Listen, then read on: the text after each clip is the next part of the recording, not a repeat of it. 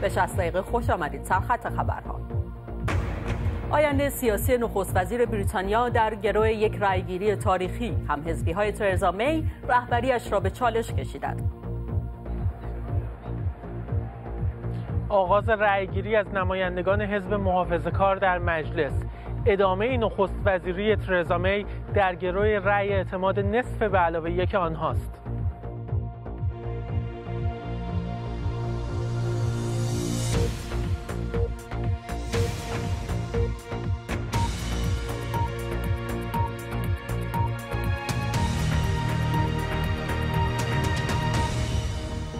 ادامه برنامه. جلسه شورای امنیت سازمان ملل درباره نحوه اجرای مفاد قطعنامه 2231 آمریکا می‌گوید ایران با انتقال اجزای موشک به یمن این قطعنامه را نقض کرده. کمتر از سه هفته پس از انعقاد قرارداد همکاری با ایران شرکت ملی نفت چین از توسعه میدان نفت و گاز پارس جنوبی انصراف داد. و جنگ فراموش شده بر سر نفت. روایت حفاظت یگان ویژه بریتانیا از چاههای نفت باکو در جنگ جهانی اول.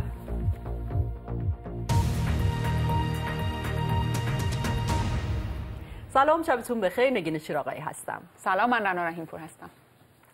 بریتانیا با بزرگترین بحران سیاسی بیش از هفت دهه اخیرش دست و پنجه نرم می‌کند. در میانه اختلاف نظرها درباره طرح خروج بریتانیا از اتحادیه اروپا، حالا سرنوشت نخست وزیر به یک رأیگیری وابسته است. رأیگیری مخفی که از دقایق پیش آغاز شده و در آن هم حزبی‌های ترزا می از حزب محافظه‌کار در پارلمان بریتانیا درباره ادامه رهبری خانم می تصمیم می‌گیرند. تصمیمی که می‌تواند تنش در فضای سیاسی بریتانیا را افزایش دهد. خانم می برای آرام کردن فضا گویا به هم حزبی هایش قول داده که در انتخابات آینده بریتانیا یعنی سال 2022 نامزد نشود. تاثیر این تحولات بر بزرگترین چالش بریتانیا از زمان جنگ جهانی دوم یعنی برگزیت چه خواهد بود؟ در این باره بیشتر صحبت می‌کنیم. اول گزارشی از کسران راجی. صبح امروز لندنی ها در حالی به سر کار رفتن که کشور در بزرگترین بحران سیاسیش فرو رفته است. این دومین بار در تاریخ است که نمایندگان حزب حاکم در پارلمان مشتهایشان را علیه رهبر خودشان گره می‌کنند ساعت هفت و نیم صبح. خبر آمد که 48 نفر حداقل مورد نیاز نمایندگان حزب محافظگار رأی عدم اعتماد به نخست وزیر را در دستور کار قرار دادند. برای رأیگیری دیرتر امروز. این اطلاعیه کمیته مخصوص پارلمان که خبر از اقدام بیش از 15 درصد از نمایندگان مجلس از حزب محافظه کار می‌دهد. در اینجا گفته شده که رأیگیری در میان نمایندگان و پارلمان از حزب محافظه کار ساعت شش بعد ظهر امروز برگزار خواهد شد. یک ساعت بعد این ترزا می در مقابل مقر نخست وزیری در داونینگ استریت که می‌گوید با تمام آنچه که در چند تو قدرت دارد در مقابل این رأیگیری می تغییر رهبری در حزب محافظه کار آن هم در این زمان برای آینده کشور مخاطر آمیز خواهد بود. ایجاد بیثباتی در زمانی که به نفع ما نیست. انتخابات برای رهبری ممکن است موجب شود کنترل مذاکرات برگزیت به دست اعضای حزب مخالف بیفتد. رهبر جدید وقت نخواهد داشت که در مورد توافق خروج از اتحادیه اروپا مذاکره کند و لایحه جدید را تا پیش از 29 مارس به پارلمان ارائه دهد. ترزا می اما کسی نیست که با هر بادی بلرزد حتی با این باد. او دوباره تاکید کرد که می‌خواهد کار خروج بریتانیا از اتحادیه اروپا را به سرانجام برساند. ما باید خروج بریتانیا را از اتحادیه اروپا آنطور که مردم ما خواستهاند به سرانجام برسانیم و کشوری بنا کنیم که همه در آن احساس تعلق کنند. از همان روزی که نخست وزیر شدم و امروز هم آمادگی کامل دارم که این کار را به سرانجام برسانم. و این در پارلمان در مقابل نمایندگانی که خواهان رفتن او هستند. او می‌گوید انتخابات دیگر در این کشور در این مقطع در راستای منافع بریتانیا و این رهبر حزب مخالف حزب کارگر جرمی کوربین که دستش را رو نکرده هنوز او می‌گوید تصمیم نخست وزیر به پایان دادن بحث در پارلمان نخست وزیر را در مقابل اراده پارلمان قرار داده است.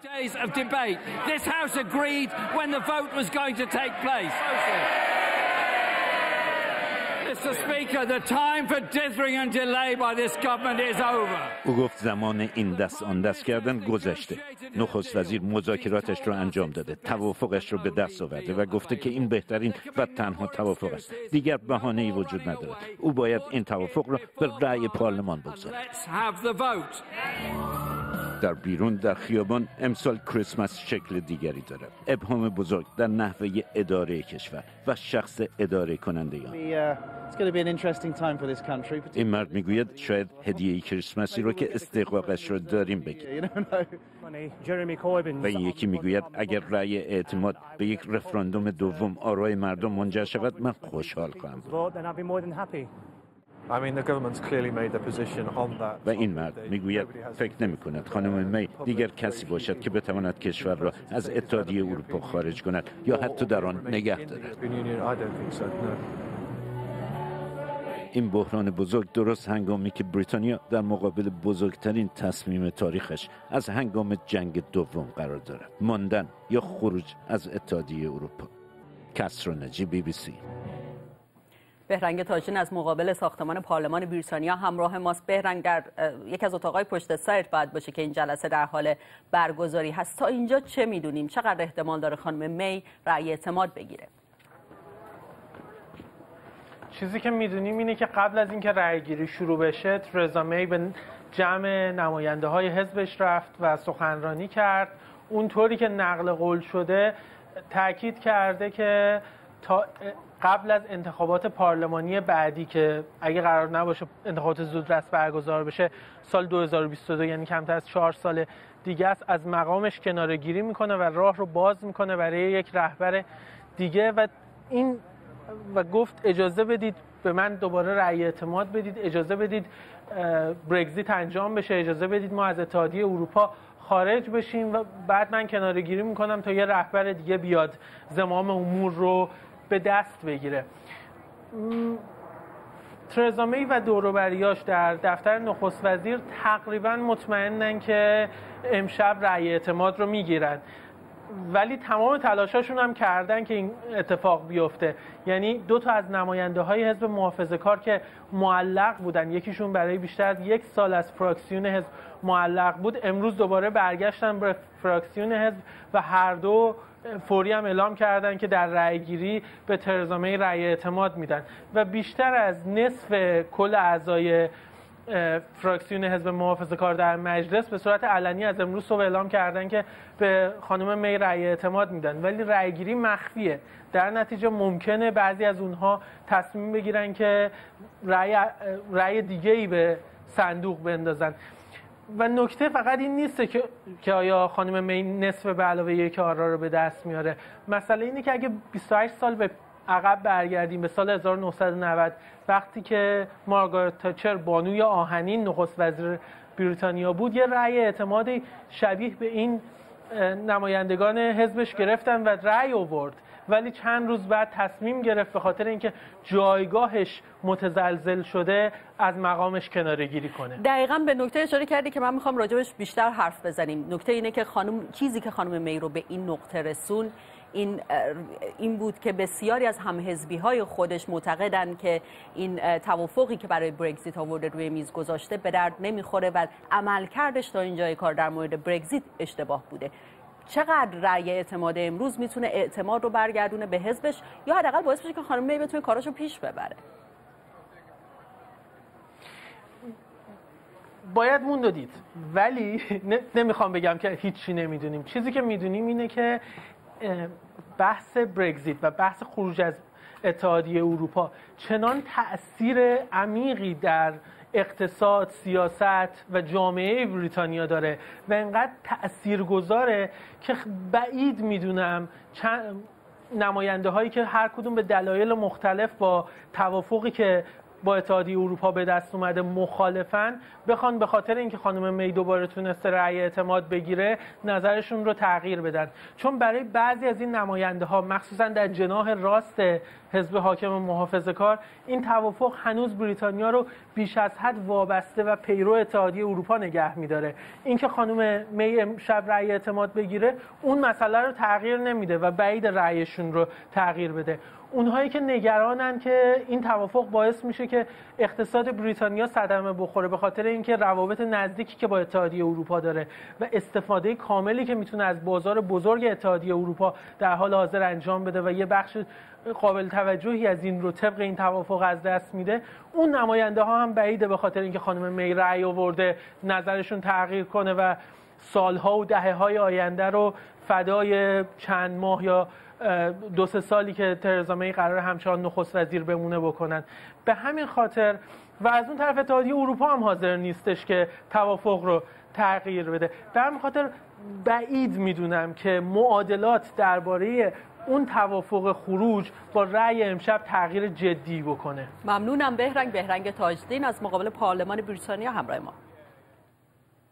نامدار بقای یزدی کارشناس مسائل بریتانیا و همینطور از اعضای حزب محافظه کار اینجا در استودیو همراه منه. آقای یزدی شما طرفدار این بودید که رأی علیه خانم می رأی عدم اعتماد برگزار بشه یا مخالفش بودید؟ من مخالف بودم برای اینکه به نظر من در این موقعیت و در این لحظه ای که قرار داریم در زمانی که قرار داریم این بدترین کار بود که بیان و اینطور رأیی رو حتی موضوعش رو مطرح بکنم برای اینکه این کار خب الان این به قول معروف قطار این کار برکسیت رو متوقف کرده. اما همین بنبست وجود داشت حتی قبل از این خب ولی خب ولی داشت حرکت می‌کرد. خانم می دیروز رفت و ملاقات داشت با رهبران هلند آلمان و میخواستش که کار رو پیش ببره. امروز قرار بود بره ایرلند نخست وزیر ایرلند رو ببینه. ولی خب متاسفانه تمام اینها این حرکت رو متوقف کرده تا تکلیف این رأی روشن بشه امشب. که به احتمال قوی تا اونجایی که نشون داده میشه به نفع ایشون خواهد بود و رأی اعتمادش رو خواهد اوورد ولی باعث این کار رو پیش ببرن. به نظر من من با نظر خبرنگار شما خیلی موافق نیستم. به نظر من از حالا تا زمانی که اون رأی در مجلس گرفته بشه در 21 یا 22 ژانویه زمان طولانی هست نسبتا به خصوص این تعطیلات هست. وکلای مجلس جوابگوی موکلینشون در حوزه های انتخابیشون هستن. نه کاری به رأی امشب دارن نه چیزی. اگر ببینن مردمی که در حوزه انتخابیشونن معتقد هستند که این توافقی که خانم می اوورده و روی میز گذاشته توافقی هستش که می‌تونه از بنبست خارج بکنه می‌تونه پیش ببره مجبور هستن به خواسته موکلینشون رأی بدن. وگرنه دفعه دیگه انتخاب نخواهند شد. اما نکته اینه که خانم می یک توافقی آورد روی میز گذاشت که حتی حاضر نبود اون مشاوره ای که مشاوره حقوقیش رو منتشر کنه. مجبور شدن ببرنش در پارلمان مجبورش بله، کنن. دستش رو در تمام این مدت بسیار بسته نگه داشت. چطور میشه انتظار داشت که نمایندگان مردم به چیزی رأی بدن که دقیقا نمی‌دونن چیه؟ همونطوری که اولش نمی‌دونستن چطور این رفراندوم اصلا اما اون رو حزب محافظه کار پیش آورد نه؟ درسته ولی خب در همون موقع هر دو طرف هم طرف موافق خارج شدن از اروپا هم طرف مخالف خارج شدن از اروپا اطلاعات غلط و نادرست گذاشتن. ببینید ایشون اومد کار بسیار سخت و مشکلی کرد. واقعا به نظر من زن بسیار مقاومیه که تا حالا تونسته این مقاومت رو بیاره. شاید حتی در بعضی موارد بشه گفت از خانم تاچر هم مقاوم تر بوده در این مورد. ولی کار رو تا اینجا آورده. کار قابل اجرا هست می‌تونه درستش بکنه می‌تونه وضعیت مرز ایرلند رو مذاکره بکنه درست بکنه. ولی خب الان اگر رهبری حزب عوض بشه اروپا مسلما دیگه هیچ گونه حرف و چیزی نخواهد کرد مذاکره نخواهد کرد. اما از اون طرف استدلال مخالفان حالا حرف شما اینه که اتفاقا اگر فردی که داره مذاکره می‌کنه با اتحادیه اروپا. عوض بشه شانس اینکه بشه توافق جدیدی برد با شروط جدیدی راه بیشتر هست. این خب نظر بعضی ها هست ولی من مسلم می‌دونم اگر یک برکسیتیر به قول معروف طرفدار برکسیت مثل آقای بوریس جانسون بیاد الان نخست وزیر انگلیس بشه مسلما راه ها بیشتر و بیشتر بسته خواهد شد. اقلا خانم می به قول خود انگلیس ها روی فنس نشسته روی نرده نشسته الان. نه, این طرف نه اون طرف دقیقا. و اینه که می‌تونه خوب اینجا بازی کنه. ولی آقای بوریس جانسون که بیاد کاملا برکسیت هستش و موافق برکسیت و در نتیجه نمی‌تونه مانوری بده نمی‌تونه کاری بکنه. می‌دونید اروپا جلوش خواهد ایستاد. امروز دیدیم رئیس اتحادیه اروپا علنا در آورد گفت همین که هست که هست. دیگه چه بخواید چه نخواید. اگر خیلی کوتاه جواب بدید اگر خانم می رأی بگیره فکر می‌کنید چه اتفاقی خواهد افتاد؟ اگر رأی نگیره چه؟ ببینید چند تا سناریو می‌تونه باشه. یکیش اینه که ایشون رأی رو که خب میاره امشب به احتمال زیاد و میرن که اون رأیگیری اصلی در مجلس بشه. اگر اون رأیگیری انجام شد و قبول شد که میرن به طرف اینکه 29 مارچ سال آینده خارج بشن از اروپا با توافق هایی که وجود داره. وگرنه خواهند رفت به طرف به قول معروف نو دیل برکسیت یا برکسیتی که بدون توافق نامه باشه و اون واقعا می‌تونه شاید خیلی فاجعه انگیز باشه برای انگلیس و برای اقتصادش برای بسیاری از مسائلی که داره. سپاسگزارم نامدار بقای یزدی. اینجا همراه من. خیلی. 60 دقیقه رو با چند خبر کوتاه ادامه میدیم. رهبر ایران می‌گوید شاید آمریکا برای ایران در سال 98 نقشه کشیده باشد. اشاره رهبر ایران به گمان زنی هایی درباره تلاش احتمالی دولت آمریکا برای تغییر حکومت ایران است. مقام های آمریکایی بارها گفتند که به دنبال تغییر رفتار حکومت ایران هستند و نه تغییر نظامش. آیت الله علی خامنه ای در جمع خانواده های کشته شدگان جنگ ایران و عراق هشدار داد که همه باید حواسشان به آنچه او فریبکاری آمریکا خوانده باشد. قیمت دلار در معامله های امروز بعضی از صرافی های تهران برای ساعتی به کمتر از ده هزار تومان رسید که پایین ترین میزان از مه ماه بود. همزمان بانک مرکزی ایران نرخ دولتی پوند و یورو را هم کاهش داد اما نرخ دلار را ثابت نگه داشت. قیمت سکه طلا هم کاهش داشته و هر سکه طرح جدید حدود 3 میلیون و 600 هزار تومان فروخته شد. مهر ماه امسال با افزایش نگرانی از کاهش ارزش ریال و پیامدهای اجرای تحریم های آمریکا علیه ایران. قیمت دلار نزدیک به 20 هزار تومان و قیمت سکه بالای 5 میلیون تومان هم رسید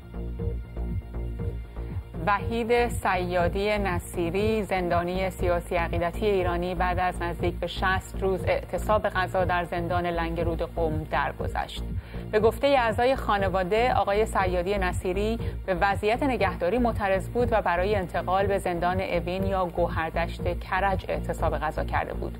او فروردین امسال پس از تحمل دو سال و نیم حبس از زندان آزاد شده بود ولی مرداد ماه اداره اطلاعات قم بار دیگر او را بازداشت کرد. به گفته فعالان مدنی این زندانی به دلیل های ناشی از اعتصاب غذا درگذشته. قاضی دادگاهی در نیویورک مایکل کوهن وکیل پیشین رئیس جمهوری آمریکا را به سه سال زندان محکوم کرد. آقای کوهن در رابطه با اتهامهایش از جمله نقض قوانین تامین مالی کارزار انتخاباتی و همینطور دروغ گفتن به کنگره آمریکا ابراز گناهکاری کرده بود. آقای کوهن در بیانیه‌اش در دادگاه گفته که بارها احساس کرده که وظیفه‌اش سرپوش گذاشتن روی اعمال کثیف آقای ترامپ بوده. جلسه شورای امنیت در مورد نحوه اجرای قدنامه 2231 ساعتی پیش برگزار شد. این قدنامه سه سال و نیم پیش برای رسمیت دادن به توافق هسته‌ای تصویب شد. در این جلسه سفرای اتحادیه اروپا بر حمایت کاملشان از برجام و گفتگو و حفظ رابطه اقتصادی با ایران تاکید کردند. مایک پومپئو وزیر خارجه آمریکا در این جلسه گفت برنامه های موشکی ایران در تضاد با قطعنامه 2231 است و کسانی که از خروج آمریکا از برجام انتقاد می کنند باید بدانند فعالیت های موشکی ایران از زمان اجرای برجام بیشتر شده.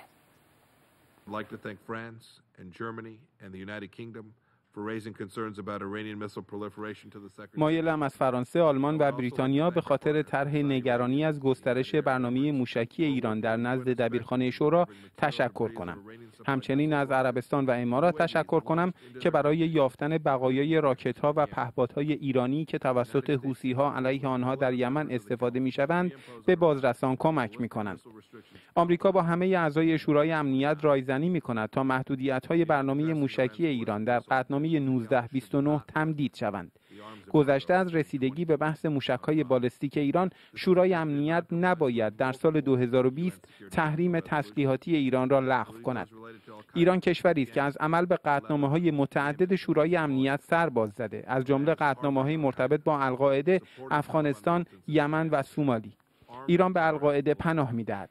از طالبان در افغانستان حمایت می کند تروریست ها را در لبنان مسلح می کند و شبه نظامیان شیعه در عراق را آموزش می دهد شورا باید به این رفتارهای ایران بپردازد نه اینکه با لغو تحریم تسلیحاتی ایران به این رفتارش پاداش بدهد. مایک پومپو وزیر خارجه آمریکا. بهمن کلباسی از مقر سازمان ملل در نیویورک با ماست بهمن جلسه آنطوری که آمریکا می‌خواست پیش رفت نه به خاطر اینکه مثل دفعات قبل کشورهای دیگر عضو شورای امنیت مخصوصا اروپایی ها تاکید داشتن بر اینکه توافق هسته‌ای باید بماند و اینکه دارد اون حاصلی که انتظار داشتن ازش رو میده هم می‌دهد. همین که ایران بهش پایبنده همین که جلوی اشاعه سلاح‌های هسته‌ای رو در منطقه می‌گیره. در دفعات قبل که دیدیم که جلسه تشکیل شده برای بررسی قطعنامه دو بار در سال این جلسه تشکیل میشه. همین جور موزگیری ها بوده کما بیش. اون چیزی که آمریکا مشترک داشت با کشور اروپایی این بود که اونها هم نسبت به برنامه موشکی ایران و به آنچه که اونها اقدامات تخریبی ایران در منطقه می‌خونن ابراز نگرانی کردن. ولی تاکید می‌کردن که اون رو باید با گفتگو مستقیم با ایران و با حفظ برجام حل کرد. نه اینکه با خروج از برجام کلیت ساختار این توافق رو به خطر انداخت. و برای همین این نگرانی رو شما در صحبت های دیگر سفرهای اروپایی و آمریکا اروپایی و حتی غیر اروپایی می‌دیدید که در عینی که نسبت به ایران انتقاد می‌کردن به خاطر برنامه موشکیش در ضمن می‌گفتن که خروج آمریکا وضعیت رو بهتر نمی‌کنه. مثلا سفیر فرانسه مخصوصا در این مورد حرف زد که اساسا سیاست آمریکا که تحریم باشه به تنهایی ممکنه اون اون چی که آمریکایی‌ها علاقه مندن بهش برسن که تغییر رفتار ایران است رو نهایتا نخواهند رسید. این بخشی از صحبت‌های سفیر فرانسه در شورای امنیت سازمان ملل. La réunion d'aujourd'hui sur la résolution 2231 ده سال زمان صرف شد تا توافق برجام به دست بیاد و حالا برخی رفتارها با این توافق به همین ما ضرر می‌زنه. ایران به تعهدات خودش همچنان پایمند مانده و 13 گزارش پیاپی آژانس بین‌المللی انرژی اتمی هم این رو تایید کرده. این وضعیت تعهد و احترام ما به تعهداتمان در قبال ایران را طلب می‌کند. هیچ چیزی نباید روی تعهدات ما اثر بگذارد. در بحث موشکی فرانسه به همراه آلمان و بریتانیا بارها نگرانی خودش را مطرح کرده. این موشکها از نظر فنی جوری طراحی شدند که قادر به حمل کلک هسته هستند و لذا با قطعنامه 2231 مطابق نیستند. فرانسه خواهان گفتگو با ایران بستر رفتارش در منطقه و سایر موارده بهمن بعد از جلسه موفق شدی که در جلسه پرسش و پاسخ با مایک پومپو شرکت کنی. چه گفتی و چه شنیدی؟ از وزیر خارجه آمریکا پرسیدم که خب اگر ما این صحنه ای که امروز در شورای امنیت دیدیم رو سال دیگه هم تکرار بکنیم یعنی که درست همین جایی باشیم که الان هستیم هم ایران همچنان پایبند مونده به توافق هسته‌ای که مورد استقبال دبیر کل سازمان ملل کشور اروپایی است. همین که رفتار منطقه‌ای شد اون چیزی که آمریکایی‌ها انتقاد می‌کنن به عنوان برنامه موشکیش تغییر چندانی نکرده باشه و در نتیجه به این نتیجه برسیم که تحریم های آمریکا به تغییر رفتاری که ازش صحبت می‌کنن منجر نشده باشه. اون وقت سیاست آمریکا قدم بعدی سیاست آمریکا چیست؟ به خصوص که آقای هوک اون مرد مسئول امور ایران در وزارت خارجه که کنارش هم ایستاده بود امروز هفته پیش صحبت از گزینه نظامی کرد. گفتم آیا شما به این سمت دارید میرید و اون سناریوی عراق داره اینجا تکرار میشه که مستقیما به سوال من پاسخ نداد ولی همطور که میشنوید جوابش این بود که اگر می‌خواید در مورد سیاست های شکست خورده حرف بزنیم بگیم اول در مورد این حرف بزنیم که برجام شکست خورده. این حرفای آقای پومپئو.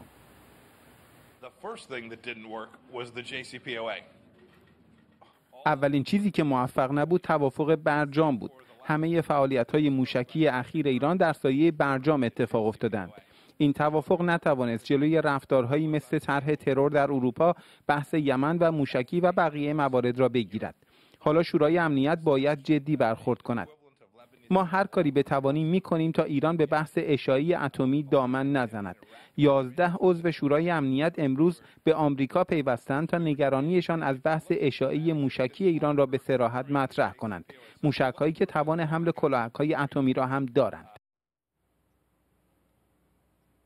یک حرف دیگری هم که در همین پرسش پاسخ زد آقای پومپو که به نظر جالب بود ازش پرسیدن که اگر این مکانیزم پرداخت و رابطه مالی در اروپا با ایران برقرار بشه اونطوری که مقام های اروپایی میگن در هفته های آینده. آیا اون رو هم تحریم می‌کنید؟ و در جواب گفت که البته یه سری داد و ستد با ایران هست مخصوصا در مورد مواد غذایی و ایران مواد غذایی و دارو که شامل تحریم ها نمیشه. ما اول ببینیم این مکانیزم چگونه عمل می‌کنه. فقط در مورد اون هست تمرکزش یا نه. اون وقت تصمیم می‌گیریم که چه خواهیم کردن چه شاید یه مقداری برای خودشون این فضا رو باز گذاشتن که مستقیما درگیر نشن با اروپایی سر اون مکانیزم دست کم در آغازش. ولی در مجموع این جلسه به صورت معمول خبرساز نمیشه. این که وزیر خارجه آمده بهش نشون میده که اونها علاقه مندن هرچه بیشتر بر مسئله برنامه موشکی ایران تاکید بشه و کمتر در موردی که ایران به توافق هسته‌ای پایبند مونده اونطوری که کشورهای اروپایی چند بار در موردش صحبت کردن. متشکرم. بهمن کلباسی خبرنگار ما در نیویورک دونالد ترامپ رئیس جمهوری آمریکا می‌گوید حاضر است برای تسهیل روابط تجاری با چین در پرونده منگ وانجو مدیر ارشد مالی شرکت چینی وای دخالت کند. منگ وانجو 13 روز پیش در ونکوور کانادا به درخواست دولت آمریکا بازداشت شد. دادگاه عالی بریتیش کلمبیا خانم منگ را با وسیقه 10 میلیون دلاری آزاد کرد اما حق ندارد که کشور را ترک کند. های آمریکا خانم منگ را متهم کردند که از راه های سوری های آمریکا علیه ایران را نقض کرده. ژیار گل و جزئیات بیشتر. افزایش تنش بین آمریکا و چین کانادا هم بین این دو قدرت اقتصادی جهان گیر کرده دادگاه عالی بریتیش کلمبیا در ونکوور کانادا جایی که دختر مؤسس خول مخابراتی چین چند بار در مقابل قاضی ظاهر شده است. دیروز این دادگاه منگ وانجو مدیر ارشد مالی شرکت چینی هواوی را با قرار وسیقه ده میلیون دلاری آزاد کرد. اما خانم منگ 24 ساده تحت نظر است و باید پابند الکترونیکی داشته باشد. او تا زمان تعیین تکلیف استرداد او به آمریکا حق ترک کانادا را ندارد. دادستان های آمریکا خانم منگ را متهم کردند که با تأسیس شرکت های سوری سالها تحریم های آمریکا علیه ایران را دور زده و قطعات مخابراتی به ایران فروخته است. در حالی که پیشتر مقام های آمریکایی گفته بودند حکم جلب او ربطی به تنش تجاری بین آمریکا و چین ندارد. دیروز دونالد ترامپ رئیس جمهوری آمریکا به خبرگزاری رویترز گفته اگر به قرارداد تجاری با چین کمک کند آماده است در پرونده مدیر ارشد مالی شرکت هواوی که در دادگستری این کشور در جریان است دخالت کند. او گفته هرچه به نفع آمریکا باشد انجام خواهد داد. شرکت هواوی بعد از موافقت قاضی کانادایی با قرار وسیقه در بیانیه ابراز امیدواری کرده که دستگاه قضایی کانادا و آمریکا به یک نتیجه عادلانه برسند. اما دیروز با دستگیری مایکل کورک دیپلمات سابق کانادایی در چین تنش بین کانادا و چین وارد مرحله تازه‌ای شده است. آقای کورک برای گروه بین المللی بحران کار می کند و چین می‌گوید دستگیری او به خاطر ثبت نشدن این سازمان در چین است. اگر فرد بازداشت شده برای گروه بین المللی بحران کار می کند فکر می کنم این شخص قوانین چین را نقض کرده است. بسیاری می‌گویند چین برای اعمال فشار به کانادا این دیپلمات پیشین را بازداشت کرده. آمریکا هم از این دستگیری ابراز نگرانی کرد. ما از چین می‌خواهیم به بازداشت‌های غیرقانونی پایان دهد. به تعهدات بین‌المللی حقوق بشری خود درباره آزادی و حق کنسولی همه افراد احترام بگذارد. هواوی یک شرکت استراتژیک چینی در دنیای پیشرفته مخابرات است. برخی از کشورهای غربی از جمله آمریکا و بریتانیا به خاطر نگرانی های امنیتی بعضی از خدمات این شرکت را ممنوع کردند این کشورها نگرانند این شرکت اطلاعات محرمانه آنها را به دولت چین بدهد. ژیارگل بی بی سی. شرکت ملی نفت چین فعالیتش را در میدان نفت و گاز پارس جنوبی متوقف می کند. این شرکت بعد از تحریم های آمریکا و به منظور کاهش تنش بین چین و این کشور تصمیم گرفته از پارس جنوبی خارج شود. بعد از شروع دوره دوم تحریم ها شرکت فرانسوی توتال قراردادش برای توسعه فاز 11 پارس جنوبی را لغو کرد و شرکت ملی نفت چین جایگزینش شد. در گزارش شهریار سیامی نور فلاش دوربین دیده میشه. کسی فکر نمی‌کرد که نتیجه این گفتگو تا این حد برای ایران مهم شود. ماجرا از تابستان پارسال شروع شد.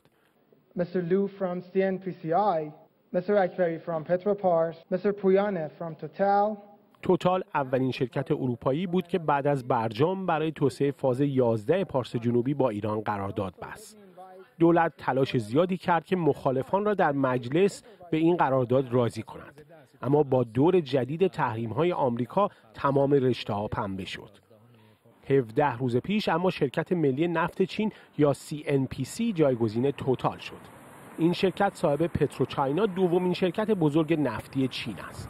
حالا CNPC می‌خواهد پارس جنوبی را ترک کند برای راضی نگه داشتن آمریکا. احتمالا نتیجه گفتگوی دونالد ترامپ رئیس جمهوری آمریکا و شی جین پینگ رئیس جمهوری چین در نشست گروه 20 و برای پایین کشیدن فیتیله جنگ تجاری بین دو کشور امتیازی که پکن به واشنگتن می‌دهد. فاز 17 و 18 رو فازهای دیگر پارس جنوبی که افتتاح شدن همچنان کار را ادامه می‌دهند. کنیم علی برکت الله مشکل اما سرمایه گذاری برای توسعه و نگهداری صنایع نفت و گاز در پارس جنوبی است. ما در برنامه پنج ساله ای که امسال سال اولش هست قریب دویست میلیارد دلار باید در مجموعه صنعت نفت ایران سرمایه گذاری رو سامان بدیم از این مبلغ به جرأت میشه گفت بیش از 70 درصدش باید از منابع خارجی تأمین بشه و ما به سرمایه گذاری خارجی در بخش نفت نیاز داریم چین اما یکی از هشت کشوری است که شش ماه معافیت واردات نفت از تحریم های آمریکا را گرفته. به همین بهانه شرکت ملی نفت چین قرار است سرمایه گذاریش را در میدان نفتی مسجد سلیمان یعنی قدیمی ترین میدان نفتی ایران و البته میدان نفتی آزادگان ادامه دهد. میدانی که چینی ها می‌گویند از آن روزانه نزدیک 80 هزار بشکه نفت استخراج می شود. و اگر سرمایه گذاری در این تأسیسات متوقف شود صادرات نفت ایران کاهش می‌یابد و می‌تواند بر بازار نفت جهان تاثیر بگذارد اما حقیقت ماجرا این است که قرارداد چین در این دو میدان نفتی به یه متقابل است و آنها سود سرمایه گذاریشان را برداشت می کنند و علاقه به از دست دادن این سود ندارند. ایران تا 120 روز دیگر تصمیم می‌گیرد که با خروج شرکت ملی نفت چین قرارداد فاز 11 پارس جنوبی را با این شرکت ملغا کند یا نه. مقام های ایران و چین در این مورد اطلاعات بیشتری نمی‌دهند. میدان پارس جنوبی با قطر مشترک است و ایران سالها کمتر از شریکش برداشت می‌کرد. در یک میدان مشترک داریم از همسایه ما که از همین میدان مشترک داره استفاده و بهره برداری می‌کنه از میزان بهره برداری او داریم سبقت میجوییم. تحریم های جدید آمریکا حالا به قطر فرصت مناسبی می‌داد تا در این ماراتون گوی سبقت را از ایران برو باید شهریار سیامی بی بی سی. در ادامه این 60 دقیقه در گذشته ایرج دانایی فرد زننده اولین گل تاریخ ایران در جام جهانی فوتبال. و جنگ فراموش شده بر سر نفت یک قرن پیش. برایان هوک نماینده ویژه امور ایران در وزارت خارجه آمریکا می‌گوید که این کشور لغو اجازه اقامت بستگان مقام های ارشد جمهوری اسلامی در خاک آمریکا را بررسی می کند. آقای هوک در ویدئویی که در حساب توییتر وزارت خارجه آمریکا منتشر شده در پاسخ به سوالی در مورد وضعیت ویزای بستگان مقام های ایران که در آمریکا زندگی می کنند گفته که زندگی و تحصیل برخی از فرزندان آنها در آمریکا نمونه بارز ریاکاری است. او می‌گوید آمریکا از همه گزینه ها برای تحت فشار قرار دادن ایران برای تغییر رفتارش استفاده خواهد کرد. آرش آرامش حقوقدان و کارشناس امنیت ملی از نیویورک آمریکا همراه ماست. آقای آرامش چقدر واقعا از نظر قانونی چنین فضای مانوری برای چنین کاری وجود داره اینکه ویزا رو بخوان لغو بکنن؟ خب بستگی داره به نوع اقامت افراد در ایالات متحده. این رو خیلی به صورت بسته بندی شده و کلی بگم. اگه کسی شهروند ایالات متحده است حالا چه اینجا به دنیا آمده یا اینکه اینجا citizen شده در روال مهاجرت رو گذرنده و citizen شده و شهروند هست ایشون دیگه امتیاز نیست یک حق رو داره یعنی یک حق به قانون اساسی به عنوان یک شهروند به شخص داده و گرفتن این حق حالا اخراج کردن به عنوان شهروند کاری بسیار سخت نیاز به رفتن به دادگاه و نشان دادن یک سری مثلا این هستش که ایشون خیانت به مملکت کرد در به این کسی که شهرونده یا citizen میگن اینجا. چه بودا به دنیا آمده چه متولد اینجا چه کسی که مهاجرت کرده به بعد citizen شده بسیار بسیار سخته. این category و این گروه رو بذاریم کنار. دو گروه میمونن. یه عده که green card دارن مهاجر هستن و مقیم دائم اینجا هستن و گروه آخر اونایی هستن که بر اساس ویزاهای مختلف در ایالات متحده زندگی می‌کنند من متخصص کارشناس مهاجرت نیستم از لحاظ دید قانون اساسی و اون چیزی که وزارت دادگستری بر اساس نظرات دیوان عالی کشور در حدود 130 135 سال اخیر گفته خدمتتون عرض می‌کنم. اونهایی که گرین کارت دارن یا مقیم دائم اینجا هستن بر اساس کارت ضبط هستن و زندگی می‌کنن دولت برای گرفتن کارت اقامت اینها و اون امتیازی که اینها دارن بالاخره اونها رو هم باید چه بکنند باید نشان بدهد که اینها یا خطری هستن یا اینکه در پروسه گرفتن این ارز کنم به حضور شما کارت سبز اقامت دروغی و دروغی اساسی گفتن. یعنی مثلا طرف عضو برفرض میگم القاعده بوده و نگفته. یعنی که طرف در عضو کارهایی کرده که مثلا در اپلیکیشن یا اون تقاضانامش دروغ های بسیار اساسی نوشته. نکته آخر که میشه به کسایی که ویزا دارن. حالا هر گونه ویزایی که هست. ویزای معالجه دانشجویی ویزای ارز کنم کاری یا کلا دولت آمریکا چیزی که شهروند نباشه که شهروند یک حق داره ویزا رو به عنوان امتیاز حساب می‌کنه. هیچ کسی حق نداره که ویزای آمریکا یا مثلا ویزای ایران یا ویزای کانادا یا ویزای ارز کنم مثلا بحرین بگیره. این یک امتیازی است که این کشورها به شهروندای کشورهای دیگه میدن.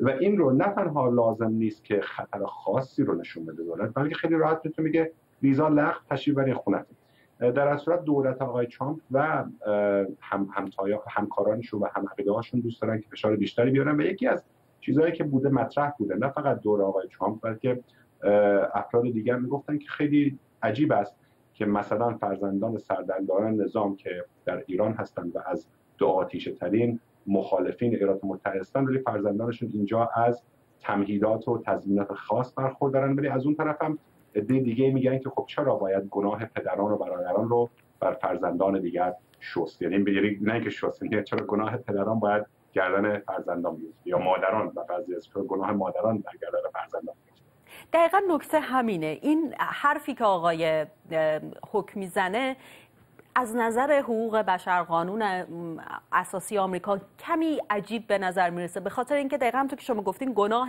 فرزند رو که گناه پدر رو که فرزند نمیشوره. با این حساب آیا ممکنه که اگر قدمی هم بخواد انجام برداشته بشه در این مسیر با چالش مواجه بشه مثل اون دستوراتی که مثلا آقای ترامپ در مورد مهاجرت فرمانهای مهاجرتیش داد و بعد دیدیم که در دادگاه ها با چالش مواجه شد؟ مطمئن باشین اینجا کم و کسری وکیل قانون اساسی نخواهد بود که بیاد این پرونده ها رو جلو ببره. حالا از یک طرف یا از طرف دیگر شکایه بنویسن و در دادگاه علیه یا له آقای ترامپ اینجا به, به دادگاه برن. ولی نه اینکه فرمودید در همه لحاظ حقوق بشر همه لحاظ قانون اساسی من با این موافق نیستم. قانون اساسی ایالات متحده به هیچ کسی تضمین نداره که. میگم حتی اگر شما هیچ کار خلافی هم نکرده باشید که شما از ویزا بتونید بگیرید یعنی آمدن در امریکا و میگم چه حالا امریکاست چه ایران چه بحرین چه ارمنستان آمدن ویزا گرفتن و ویزیت اما آقای آرامش من نکتم اینه که اتفاقا فرزندان مسئولان جمهوری اسلامی که الان اونجا هستن احیانا با ویزا اونجا نیستن. سال هاست که اونجا سرمایه گذاری کردن روش های دیگه ای داشتن احیانا. واقعا میشه گفت چند درصد از فرزندان مقام ها با ویزا الان فقط اونجا هستن. نمی‌دونم. من میگم من وکیل مهاجرت نیستم. از اون طرفم این اعداد ارقام رو دسترسی بهش ندارم. ولی من این سه تا کاتگوری بزرگ رو شما گفتم. شهروندان گرین کارتیا و ویزایا. ولی در مجموع اگر کسی هم آمده و مثلا حتی در پروسه شهروند شدن یا یا پروسه گرفتن گرین کارت دروغی عریض و طویل گفته. متریال یعنی بسیار مهم در پرونده گفته. یا اینکه طرف کاری بکند الان خلاف امنیت ملی آمریکا که خلاف حادی باشه. این دلیل نیست که شما چون صرف اینکه citizen هستین یا صرف اینکه green card دارید کاری با شما نشه کرد نه. میگم خیلی سختتر از کسایی بودن اینجا که به دنیا آمدن به بزرگ شدن ولی ایالات متحده از اونها شهروندیشون سلب کرد. چرا؟ چون مثلا طرف با طالبان جنگیده یا تسلیحات فروخته به فلان و فلان سازمان یا تنظیم سازمان تروریستی. نه این من صحبتم نیست. اما میگم دو تا گروه از هم جدا کنن. یکم. یک دسته صحبت می‌کنن میگن که این چه بچه خوبی ندارد یا چه معنی می‌داد که مثلا سربنداران جمهوری اسلامی بعضی از اونها حتی از تندروترین و ضد آمریکایی ترین هاشون فرزندانشون اینجا هستن و زندگی می‌کنن. عده دیگه هم میگن که نخیر آخه خب حالا گیریم که این هم کردن گیریم که فرزندان اینجا هستن. ولی چرا گناه پدران و مادرانشون در بعضی از که پرونده ها رو باید به گردن فرزند انداخت و زندگی اونها رو کنفیکون کرد. این در اصل دو تا گروه مختلف هستن که این صحبت رو می‌کنن. آقای آرامش با ما بمونید. بگذارید بریم نظرات چند نفر از شهروندان و بینندگانمون رو که در مورد همین صحبت های آقای هوک نظر دادن با هم ببینیم. بعد برمیگردیم. این به نظر من یک کار عادلانه در تمام این کارهایی که دولت آقای ترامپ در طول این سه سال کرده که در سر کاره به نظر من همشون کارهای نمایشی همشون کارهای بیفایده و همشون کارهای بر ضد ملت ایران بوده. الا همین یک مورد. و این مورد من واقعا موافقم. تظاهری که در رفتار هم مقامات مسئول در ایران هست هم مقامات مسئول در آمریکا خب رفتار غیر انسانیه. از این طرف کسی که خودش دیوار سفارت رو رفته بالا توی سفارت بوده گروگان ها رو صحبتاشون رو ترجمه می‌کرده جلودار مرگ بر آمریکاست.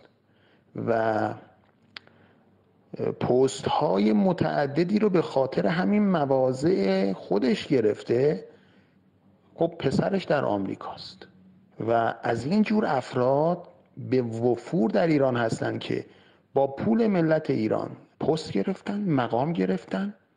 پول ملت ایران رو دریافت کردند و از اون طرف هم فرزندانشون رو فرستادن جایی که دارند به عنوان دشمن بزرگ ایران و به عنوان شیطان بزرگ ازش یاد می‌کنم. فکر نمی کنم که گرفتن اقامت از بستگان این افراد باعث فشار اومدن به این افراد بشه. اولا که خب فشاری هست که وارد میشه به بستگان این افراد. و هیچ فشاری به این افراد به خودشون وارد نمیشه. خب فوقش اقامت کشور دیگه ای رو اخذ می‌کنن و هیچ تغییری در رفتارشون حاصل نمیشه. لغو ویزای بستگان حکومت جمهوری اسلامی باعث تغییر رفتار جمهوری اسلامی نخواهد شد. ولی فقط به نظر من مرهمی است بر دل تمامی کسای مردم ایرانی که باید ایدئولوژی و عقیده های این آدم ها رو تحمل کنن.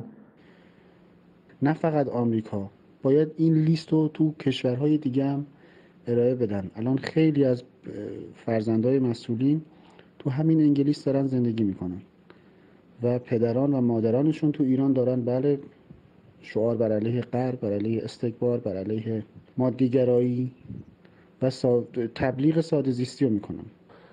مقامات ریاکار ایرانی آمریکا و حالا سایر کشورها رو دشمن می‌دونن و خطابه مرگ بر اونها رو سر میدن ولی بچه هاشون رو تو همون کشورها میفرستن برای زندگی سرمایه گذاری تحصیل و فقر و تنگ دستی و عقب موندگی رو برای مردم ایران می‌خوان و, و اسمش هم می‌ذارن مشیت الهی و صبر و امتحان و از اینجور چیزا.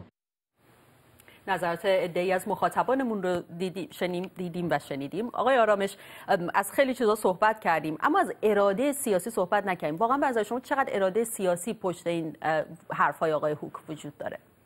هست. آقای هوک حرف حالا چون موافق باشیم چون مخالف باشیم حرفی که لاقل پشتش مقداری سرمایه سیاسی نذارن و نخوان عملیش کنن نمی‌زنه یعنی به نظرم میاد که شما در این چند ماه اخیر که ببینید با حتی انتصاب آقای هوک با توییت هایی که خود رئیس جمهور می‌زنه با توییت هایی که وزیر خارجه آقای پامپا می‌زنه کلا با فشارهایی که آوردن از زمانی که از برجام کشتن بیرون کاملا نشون میده که دولت آقای ترامپ دوست داره که فشار رو بر جمهوری اسلامی بیشتر کنن. حالا این تشدید فشار تاکتیکی برای کدوم هدف استراتژیک هدف راهبردی هست؟ این سوال هست اما نه این کار انجام خواهد شد. و چند تا از مشاهدی تماشا کننده های برنامه حرفای جالبی زدن. مثلا که خب چرا کسی که دیوار سفارت رفته بالا الان فرزنداش اینجاست. همه حرفای جالب و درستیه. یعنی اینکه از یک طرفی تقصیر شب دولت آمریکا نباشه که مثلا کسی که صبح و شب شعار ضد آمریکایی می‌داد هم اینجا هست شعار ضد آمریکایی اینجا زندگی می‌کنه. تا یکی از ویژگی‌های خوب جامعه آزاده که ازش از مسلمان تندرو گرفته تا کمونیست چپ تندرو تا از کنم روز شما سرمایه‌دار و دست راست چپ هم می‌تونن هم زندگی کنن ولی این رو باید در نظر داشته باشید که این سوال همیشه بوده که چرا یک ضرب مثلا خیلی معروف قدیمی هست که میگن مثلا کسی که همبستر مهین است و از مثلا حرف شهین رو می‌زنی همچین حرف مثلا کسی که با یک دیگه است ولی همش فکر و ذکر و دلش و خیالش جای دیگه هست. حالا هم اونایی هستن که اینجا هستن و فکر و ذکر دل جانشون با جمهوری اسلامی است که خود سردمداران سردم رهبران و سردمداران جمهوری اسلامی که با تمام کارهایی که اکنون و گذشته کردن فرزندان میفرستن اینجا. ولی خب میگم اون قضیه رو نگاه بکنید که حالا بسیاری افراد هستن که ممکنه پدران مادران خواهران برادران عموزاده هاشون کارهای بسیار بدی کرده باشن. اما گناه اونها چیست؟ یعنی این از لحاظ حقوقی این بالانس رو باید ما نگاه کنیم که وقت اصل به کار غیرقانونی و غیر قانون اساسی امریکا است آرش آرامش حقوقدان و کارشناس امنیت ملی از آمریکا همراه ما ایرج دانایفرد بازیکن پیشین تیم ملی فوتبال ایران و باشگاه استقلال در 67 سالگی درگذشت. او چهل سال پیش اولین گل تاریخ ایران در جام جهانی را مقابل اسکاتلند زد. آقای دانایفرد که در بیمارستان نمازی شیراز بستری بود به دلیل ایست قلبی درگذشت.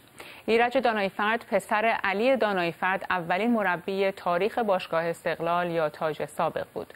او سابقه حضور در تیم‌های تاج، عقاب و پاس را داشت و در سال 1980 میلادی هم به یک باشگاه آمریکایی پیوست.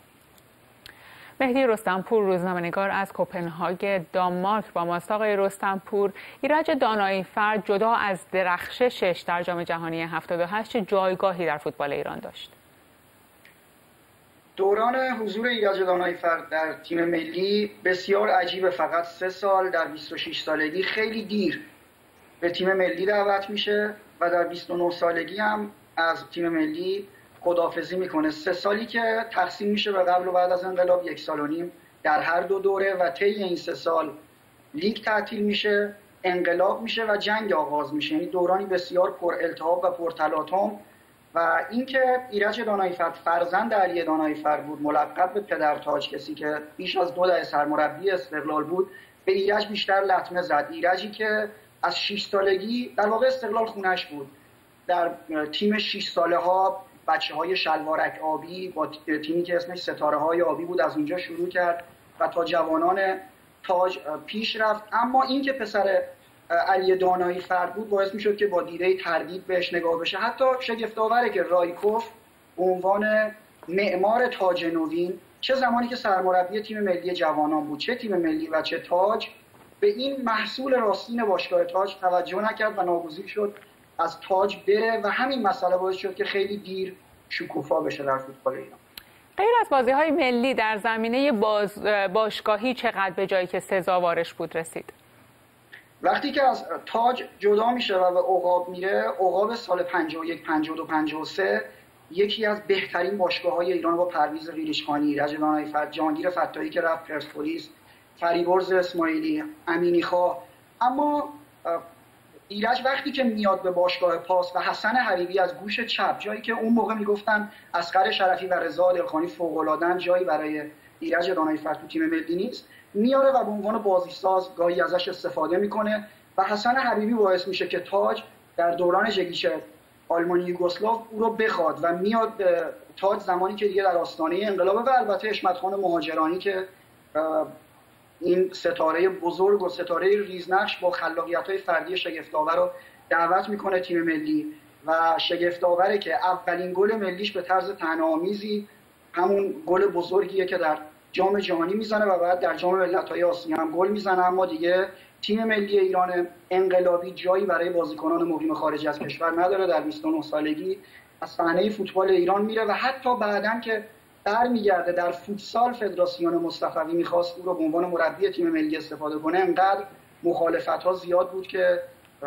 این اتفاق هم رخ نداد. با وجودی که ابلاغ گرفته بود برای مربیگری تیم ملی مجددا بدون اینکه جایگاهی در فوتبال ایران بهش تعلق بگیره رفت و تا اینکه این اواخر خبر بیماری و متاسفانه درگذشتش بشیم متشکرم. مهدی رستمپور روزنامه‌نگار ورزشی با ما.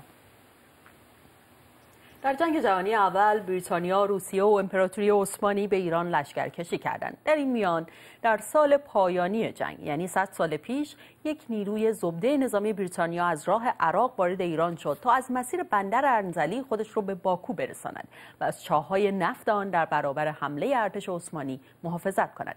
این یگان ویژه دانستر فورس نام داشت. امشب فیلم مستندی از بی بی سی فارسی پخش میشه که با استفاده از اسناد تاریخی، یادداشت‌های اعضای این نیرو و فیلم‌های تاریخی ماجراهای دانستر فورس رو در ایران روایت می‌کنه. خشایار جنیدی و هریت شاو کراس تهیه کنندگان این فیلمن که ایران 1918 جنگ فراموش شده بر سر نفت نام داره. گزارشی درباره موضوع این فیلم ببینیم. یکصد سال پیش در ماهای پایانی جنگ جهانی اول یک واحد از ارتش بریتانیا برای مأموریتی سری به ایران آمد. فرماندهشان ژنرال لیونل دانسترویل بود و این واحد به دانستر فورس معروف شد.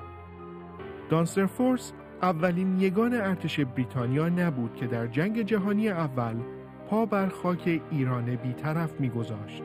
مأموریتش مقابله با نفوذ ارتش عثمانی در شمال غربی ایران و حفاظت از چاهای نفت در باکو بود. با کشف نفت در ایران بریتانیایی ها کنترل آن را در دست گرفته بودند ولی حالا با ادامه جنگ به نفت بیشتری نیاز داشتند. پیدایش منابع نفتی در جنوب ایران از 1908 به بعد اهمیت خیلی بیشتری داشت به خاطر اینکه دولت انگلستان تمام ناوگان جنگی خودش رو از زغال سنگ به نفت تبدیل کرد و این منابع جنوب ایران رو بسیار مهمتر کرد. سربازان داسترفورس در ایران شاهد مرگ و میر گسترده مردم در اثر قحطی و بیماری های واگیردار بودند. چند سال خشکسالی متوالی و حضور سربازان خارجی از علتهای اصلی بروز قحطی عنوان شده. ما در جبهه جنگ آنقدر کشته ندادیم. کشتگان ما حاصل کجرفتاری بدرفتاری سیاست بیگانگان بود که کشور ما را اشغال کرده بودند و در حقیقت ما رو ناخواسته به جنگ انداخته بودند. حدود یک میلیون جمعیت ایران در سالهای بین 1918 تا 1919 20 در ایران تلف شد. این رقم به خودی خود رقم بسیار بزرگیه. به اینکه ما اگه تصور کنیم جمعیت ایران در 1918 چیزی شاید قریب 9 تا 10 میلیون بود. بدون شک بیشتر از این نبود.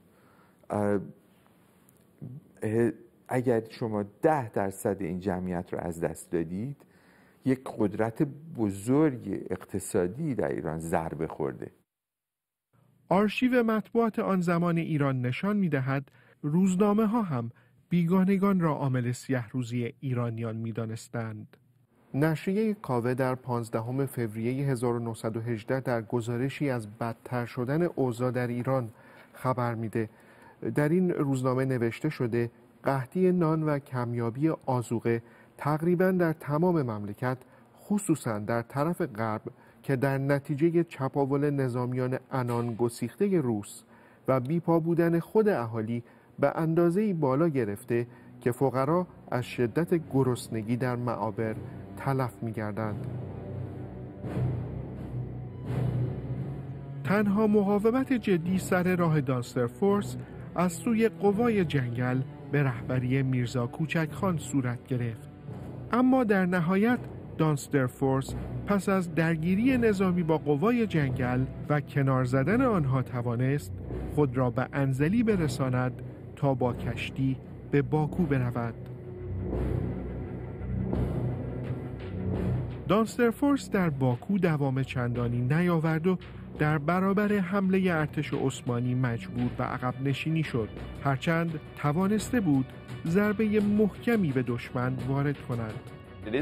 این یه موفقیت تاکتیکیه چرا که در پایان جنگ به مدت شش هفته مانع از دسترسی دشمن به نفت شدند در اون زمان نفت برگ برنده جنگ بود و آلمان ها از دسترسی به اون محروم بودند با عقب نشینی از باکو دانستر فورس منحل شد. اما داستان مداخله قدرت های غربی در ایران بر سر نفت به پایان نرسید. خشایار جنیدی سی ایران 1918 جنگ فراموش شده بر سر نفت مستندیه که امشب بعد از برنامه 60 دقیقه پخش میشه. اما خشایار جنیدی خودش الان از واشنگتن همراه ماست. خشایار کمی بیشتر از اینکه اصلا چه شد رفتی سراغ این موضوع برامون بگو و اینکه خودت فکر می‌کنی کجاهای فیلم نکته های مهمی داره که تا حالا شنیده نشده؟ داستان ایران توی جنگ جهانی اول یک داستان بسیار غمانگیزی هست.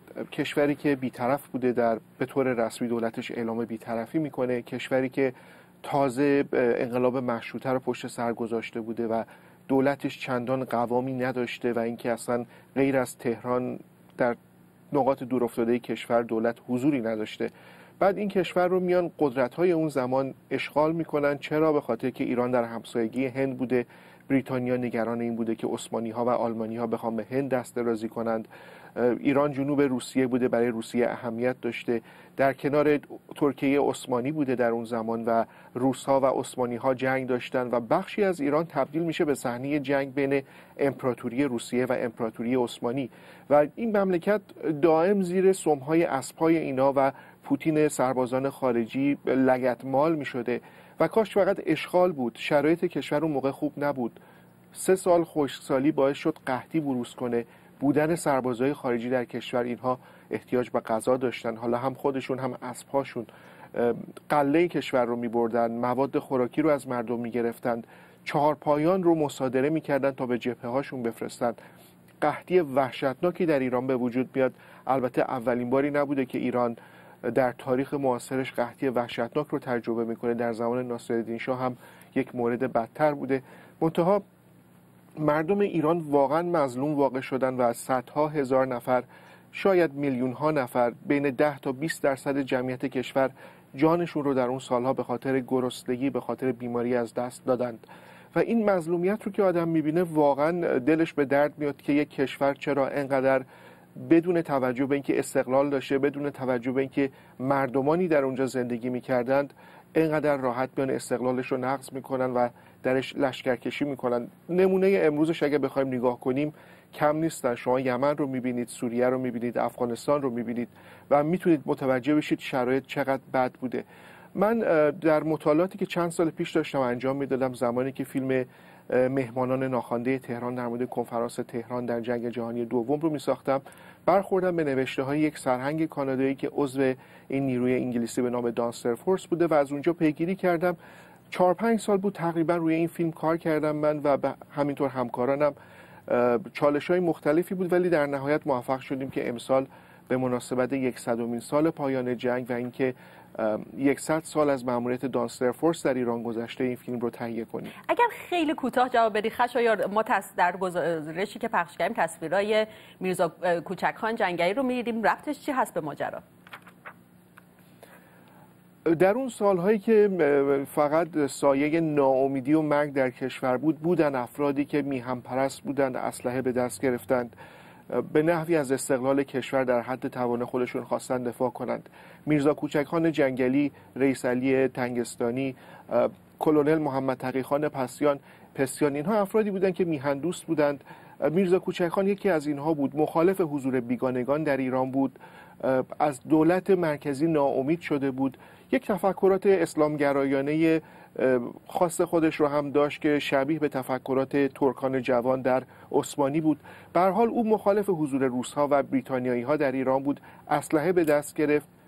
در خاک خودش با اونها جنگید و میرزا کوچک خان شاید تنها مقاومت نظامی جدی در برابر دانستر فورس در ایران بود. دانستر بله. فورس 1918 از مرزهای عراق وارد ایران شد تا انزلی رفت. تنها جایی که جلوش ایستادند هرچند ناموفق هرچند کوتاه در جنگل های گیلان بود. ممنونم خشایار جنیدی از واشنگتن. شب شب روزتون خوش.